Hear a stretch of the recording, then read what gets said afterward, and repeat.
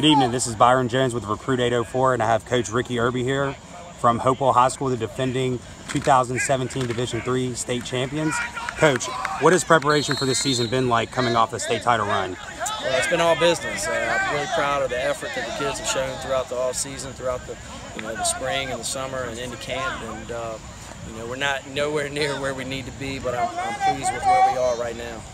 Who are some of the players uh, who have emerged as leaders this offseason until now?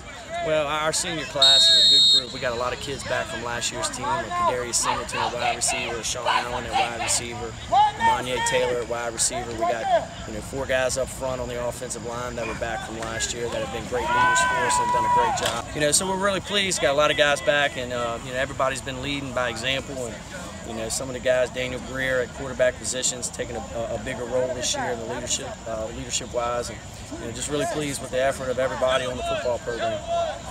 What are some of the key takeaways from this scrimmage that you and your staff were proud of?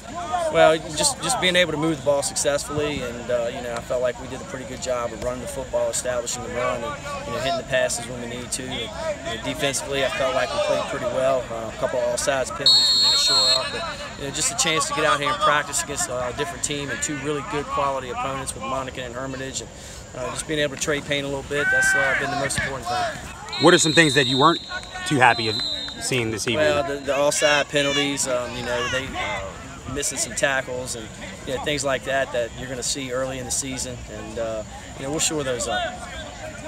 But overall, I was pleased. Awesome. Last question: What will you, uh, you and your coaching staff, you guys will get together uh, on Monday, uh, about two weeks until week one of the season what are the main areas of focus you'll be doing uh, heading into the, the opener? Uh, just keep getting better, keep practicing hard, keep doing what we need to do, getting ready for I.C. Norcom in game one. They're a really good football team and a quality opponent. We're going to have to make sure we bring our A game.